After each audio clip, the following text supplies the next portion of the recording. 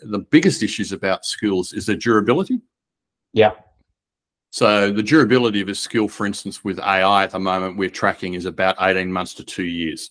In other words, you're going to have to reskill your workforce, at least 30% of your workforce, every two years with the new technology that's been introduced at the speed that's been introduced with AI.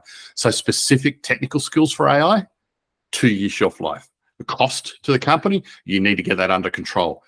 Biggest issue, therefore, is durability because if you go for more durable skills, then you're starting to look at the ones that are cross functional and transferable, which means yeah. their portability is higher and they are less visible. In other words, they are things related to how humans think, how humans interact, um, how we solve problems, how we do things. They are incredibly durable. So we work, we've had a, a skills framework after we did the national uh, training reforms in the 90s, we started to see wherever we were building skills frameworks for industries, there would be the same group of skills and knowledge that were actually portable across any of those industries, across any of the functions.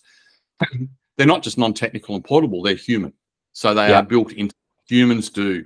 And so if you spend a lot of time getting how humans work and respond, then you get two things. You get humans who are more employable, but you get an organization that's more adaptive.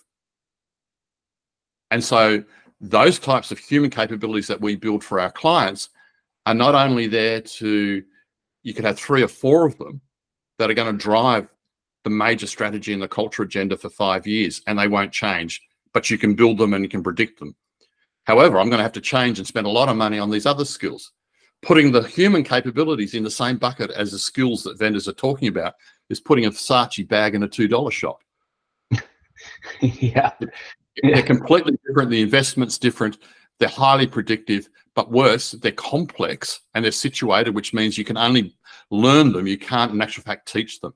So you learn them while you're doing work in a context and it's embedded there. I know that sounds very academic, but the difference is fundamental because I could build three of these those and get the whole workforce starting to do things differently.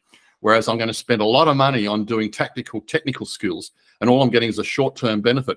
Yes, it's imperative, but no, you can't build a five year strategy and a culture based on a skill that's got a two year shelf life.